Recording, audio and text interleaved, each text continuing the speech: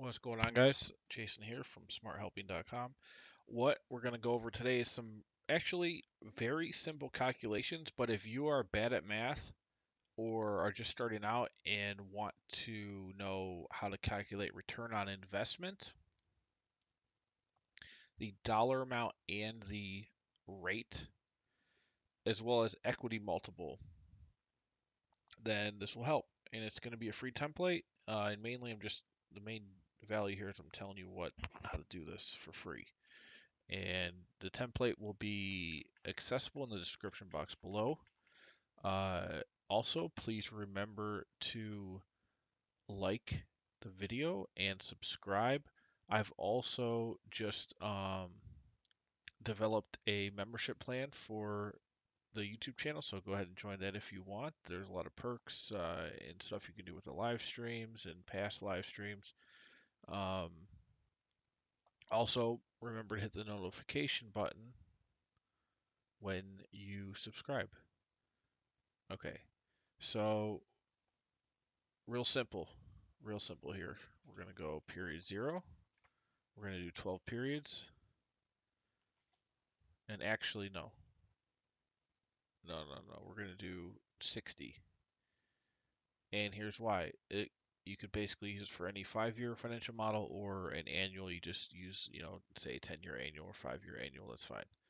So you've got 60 periods here, including period zero. Um, cash flows out. Cash flows. Well, no, let's just do cash flows. Okay, so you fill that in for 60 months, real simple.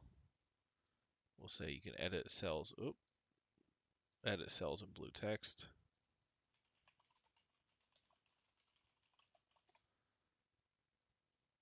And this can be used for literally any, even if it's just a one, like a, uh, let's see, cash flows.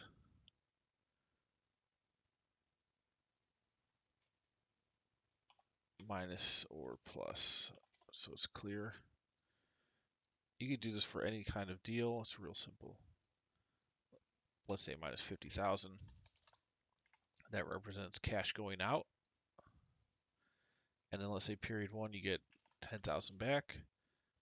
Then 20,000, 100,000, 50,000, a million. So you exited the business. So this is, and actually, can we format this? Let's do, let's do this. We don't actually need a dollar sign. So cash in and out. What is your initial investment? Well, any negative values.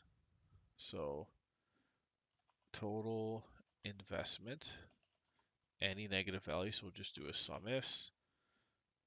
So if this range, if in this range is less than zero. The reason why I'm doing that for multiple periods is because, you know, it's possible period one could also be minus, you know, or an investment or a burn if you're running a business or whatever.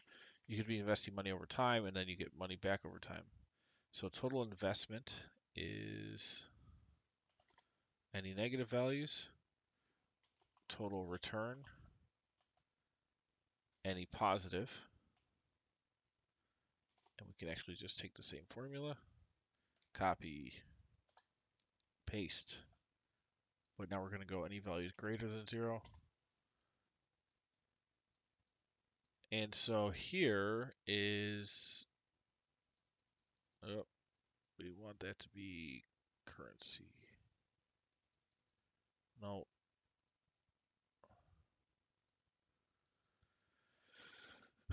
So you put in 60, you got back 170. So what's your ROI? Percentage. Whoop. Percentage would be, well, simply this plus this, so you're netting that together, divided by negative value of your initial investment. So in this case, it's pretty big, 180% or 1,000. Let's say your initial investment was like 500,000.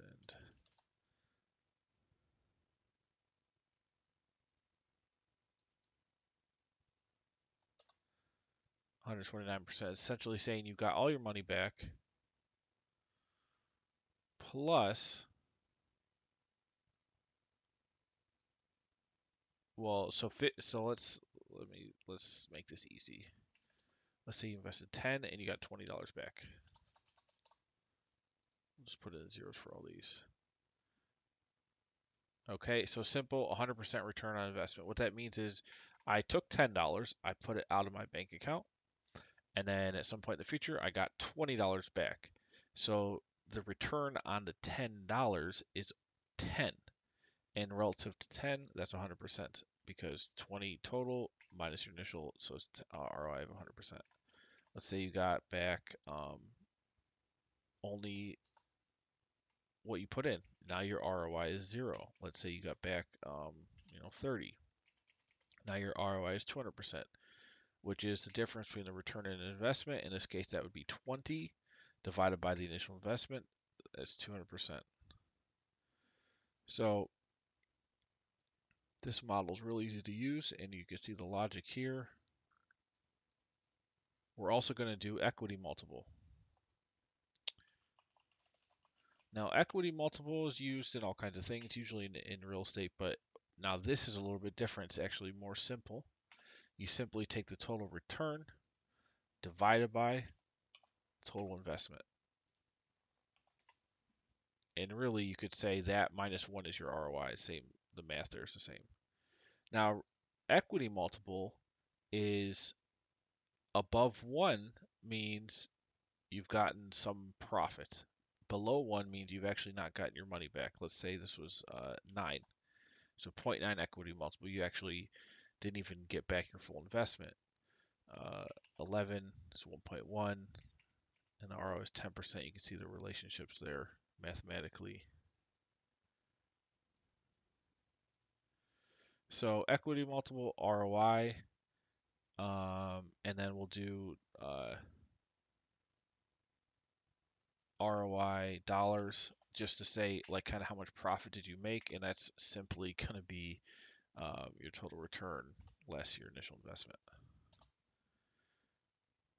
And really, what you could say is you take that again divided by your investment and you get 10% of the ROI. So there's some relationships there with the numbers.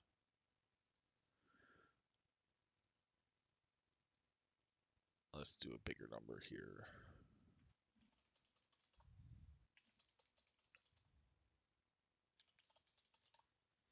Okay, so return on investment is now 750,000.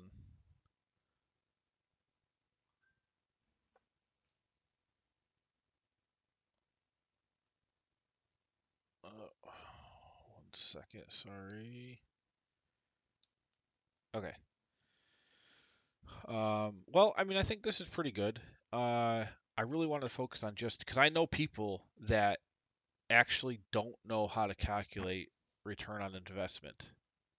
And it's kind of tricky. Like if you don't understand math intuitively and you've never really seen the terms, um, you know, hopefully this will help you. Um, you can even do a check to make sure, you know, check, make sure you've entered all the numbers right is the sum of this will always equal the sum of all the cash flows. Check, check.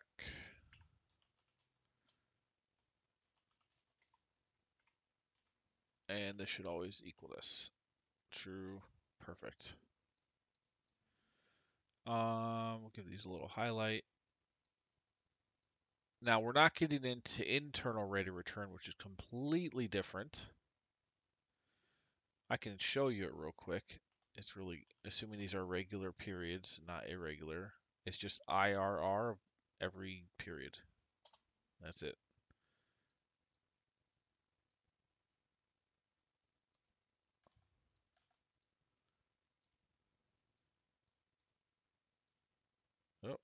Top that, do gray. And this is called IRR. Now that takes into account the timing. So you can see if I did 500,000, but in period one I got zero back, two I got 250, in period three I got 150, or let's say back 1.5 million again. Now the IRR has gone down. ROI, so here, watch this. So ROI here is 250%. This is still 250, but now look, the IRR is also higher because the cash flow here happened in period one instead of three. So this, the IRR takes into account the timing. And this would be 56% whatever period. If these are monthly, then this is a monthly return. If these are annual periods, then this is your annual IRR.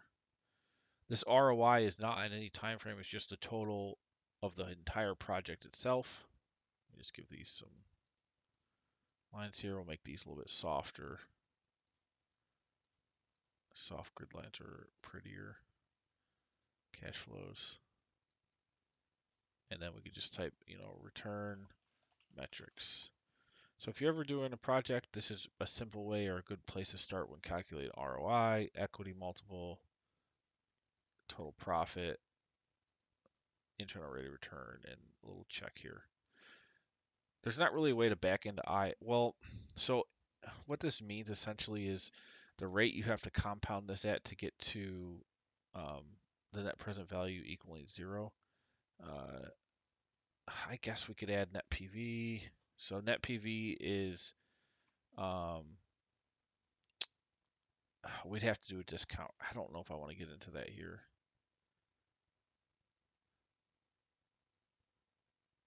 I don't think I do. Um, I don't think I do. Because I have to format these numbers. We'd have to discount these, and you could see uh, more of what the IRR means. Essentially, watch this. So the IRR is 56%. What if I take 500,000 and then I do 500,000 times this plus this. And now, let's see, we had three total periods, right? So one, two, three. 1 million, uh, let's see, did I do that right? We had 500, we compounded it once at 56%. Then we compound that again at 56%. And again, and then let's see, do this minus this. No. It's the comp, so the internal rate of return is like the, what you have to compound something at to get it. And hold on, I'm going to figure this out now. This is always, even things like this, you know, sometimes get me. So let's see. This is normalizing the, the rate of return compounded. So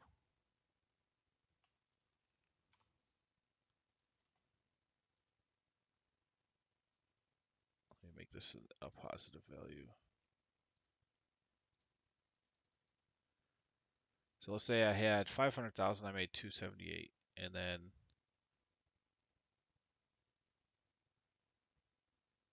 we go again. So this is, you start with 500, you're now at this.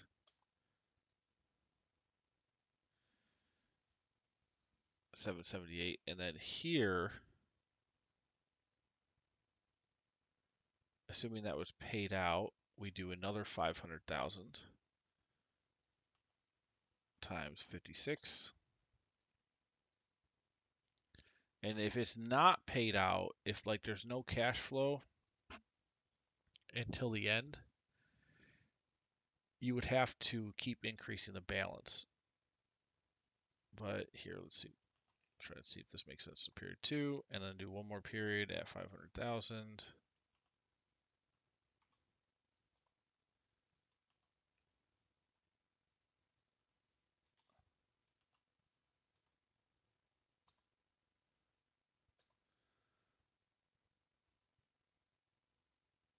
Oh, that doesn't track. I'm trying to teach you something here, and I can't even get it. Uh, let me think. Let me think. So this is one million three thirty six. Because this is saying what these cash flows have to be discounted back to, so that the present value of them in period zero here equals negative five hundred thousand. Um, so I guess these these aren't. So these numbers here are not going to ever match what we've got here.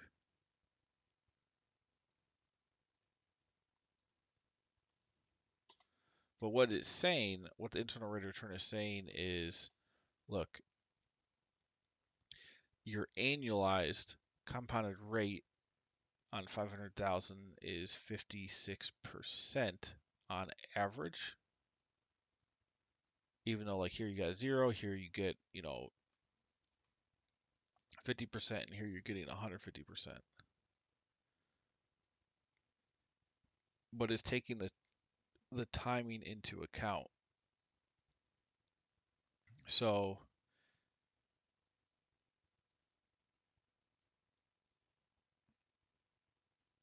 eight thirty six.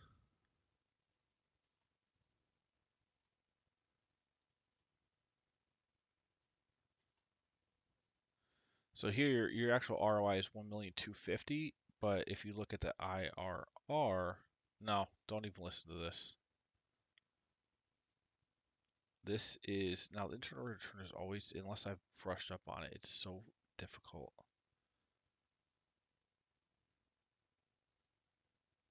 Let's just do let's do this. So let's say you have negative five hundred thousand.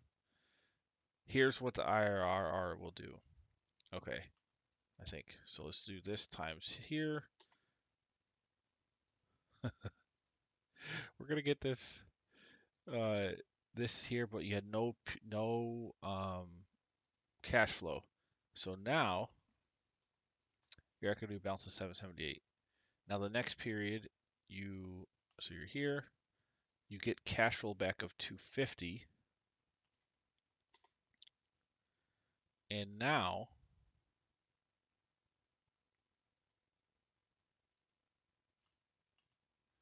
this plus this. 528 there's a more elegant way to do this and I have different models for it but we're doing it trying to do it from scratch here.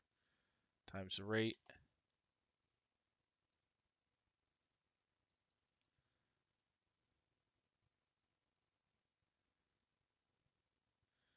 And then the final period you get back 1.5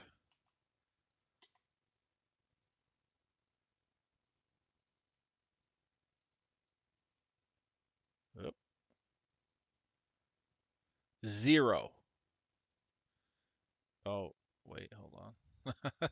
I thought I to 671. Now that doesn't track to anything.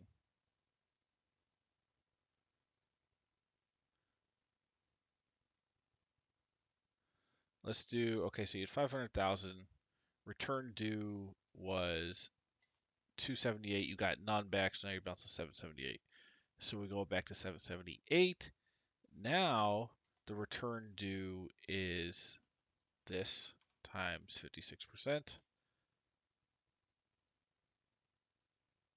Let's format this.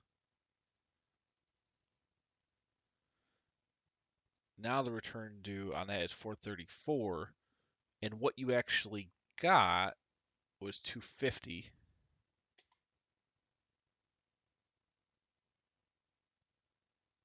So now the balance is here. And then here, now your return due is this times 56% again.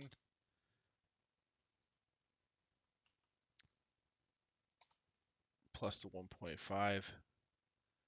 Now we're close here, 1,250. I don't know if this means anything. So if you start with 500, you do a 56% return, you got nothing back, so your balance is 778, you carry it. You go to 778. Now your return due is 434. You got back 250.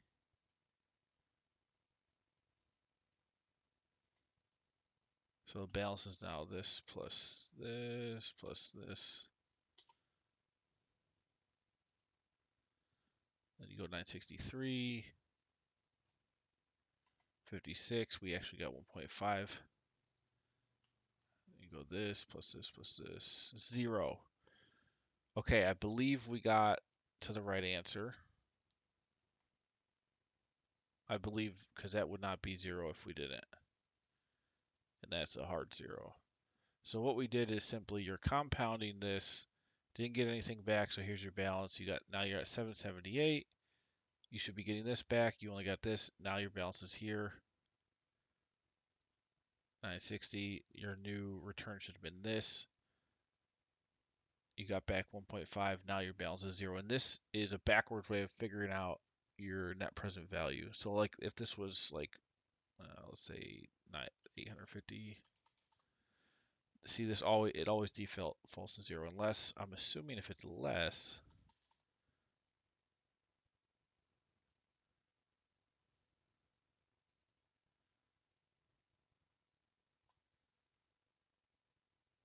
Ah, yeah, negative 21%. So this rate, this IRR is always applied to here, and it's this rate is figuring out how to get back to zero. Okay, so sorry for the confusion, but this should give you some idea of what the IRR is doing. I don't, I didn't really want to get that complex into it, but there you go.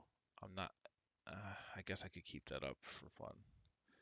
Um, deep dive, I'm going to call this. There you go. Okay. Uh, well, happy Friday. I'm headed out. Um, I'll probably be back uh, Monday with the live stream at 5 p.m. Eastern. Um, finishing up, well, continuing on the vending machine financial model, uh, the ramping model, which is really cool. We got some new logic in there. I can't wait to get into it with you guys. So uh, enjoy this. This is again for a basic level um, math person who's just getting into finance or just wants to know, may not be in finance, just wants to know how to calculate ROI. And then if you really want to get far into it, you've looked at all this stuff with the internal rate of return and you can see what is going on there. And that's that's a whole joy of fun there with the internal rate of return. Uh, all right, I am out for the weekend.